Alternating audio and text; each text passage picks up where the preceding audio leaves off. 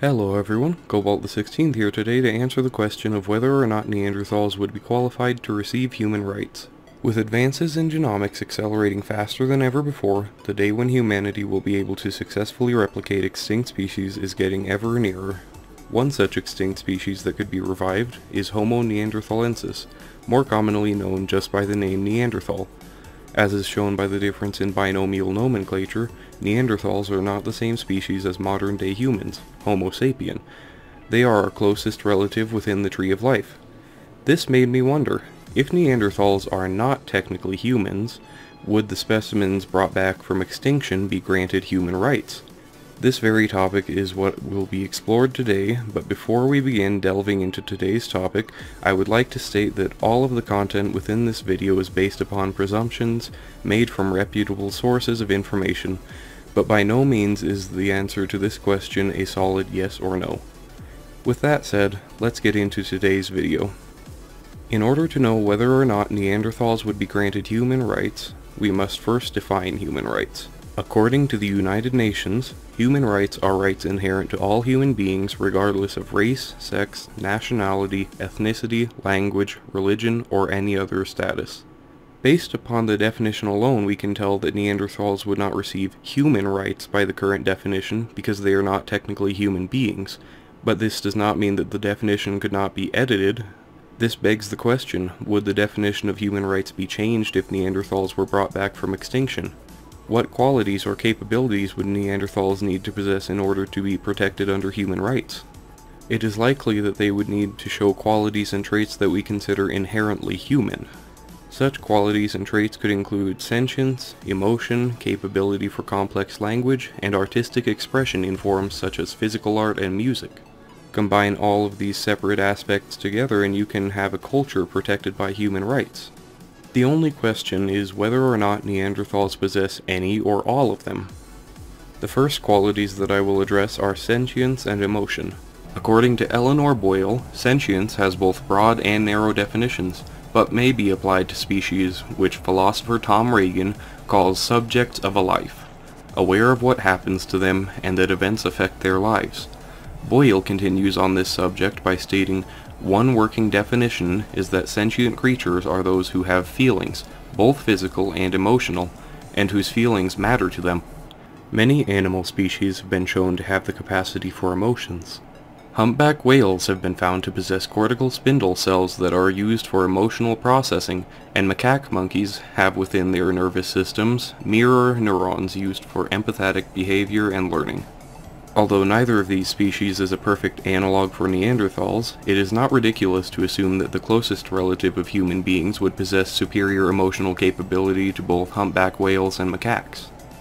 In addition, many mammal species that are commonly used in pharmaceutical studies have human-like molecular brain receptors that respond to the same neurotransmitters as human beings. Some of these neurotransmitters are responsible for emotional responses, such as dopamine's connection to pleasure. This evidence leads me to believe that Neanderthals were likely to have had sentience and emotion similar to that of humans. The second qualification that I will be discussing is the capability for complex language. Interaction through language infers that you have both the capability to speak the language yourself, but also to listen and understand when somebody else responds. If Neanderthals were incapable of either skill, they would not be able to communicate effectively. Language has been thought of as a fairly recent development that was exclusive to anatomically modern humans, but evidence exists that could set the beginning of language back to 500,000 years ago. According to Dan Dediu and Stefan Levinson, recognizably modern language is likely an ancient feature of our genus predating at least the common ancestor of modern humans and Neanderthals about half a million years ago. One key piece of evidence supporting the hypothesis that Neanderthals were capable of developing language is the presence of an almost identical FOXP2 gene to that of humans. The FOXP2 gene is linked to the development and use of language. Neanderthals and humans have an identical copy of the gene other than a small difference in the eighth intron. It seems that the Neanderthal copy of the gene is functional though, because it is still present in the genomes of some modern-day humans. Whether or not the Neanderthals' larynx and hyoid bone positioning was optimal for modern speech is not certain.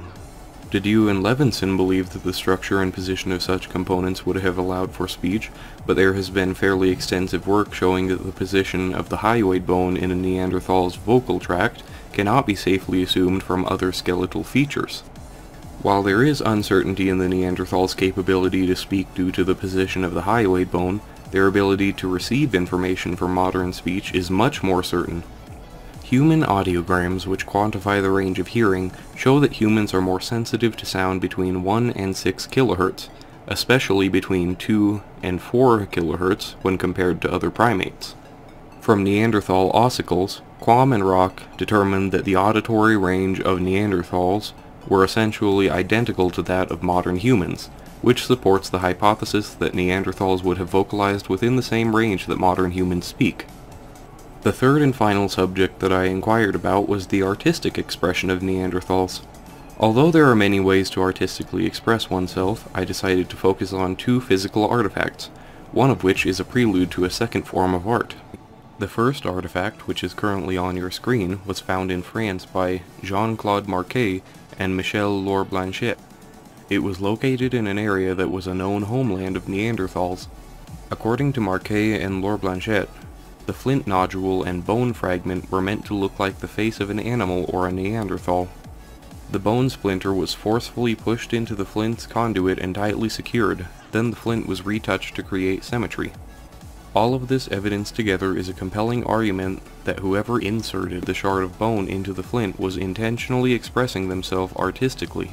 The second artifact of artistic importance is a flute carved from bone. In the article, The Music of Nature and the Nature of Music, a 53,000-year-old Neanderthal flute carved from a bear's bone was located in Slovenia. The type of flute is not completely clear, but it is believed to be a recorder-type flute. The article states, it appears that our Cro-Magnon and Neanderthal ancestors were as fond of music as we are.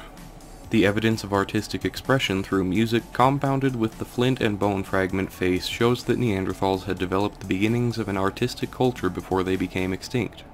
It looks as if Neanderthals would likely meet all of the criteria that I have laid down as a foundation for acquiring human rights, but some would still argue against this reasoning. As I stated before, there is no concrete yes or no answer to whether or not Neanderthals would be granted human rights, but in my opinion I believe that if they were brought back from extinction and all of the criteria were met, Neanderthals would be granted human rights. If you enjoyed this video, please leave a like and subscribe if you have not already done so. And if you have a topic that you would like me to investigate and discuss in a future video, please leave a comment in the comments section of this video. This is Cobalt the 16th signing out, and I will see you in the next video.